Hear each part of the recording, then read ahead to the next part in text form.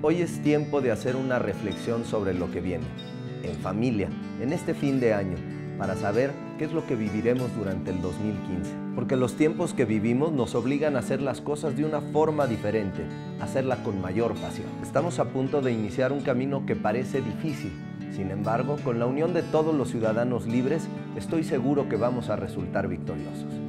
Porque cuando uno trabaja con el corazón y decide luchar por la ciudad, con la unión de todos los ciudadanos libres podemos transformar las cosas.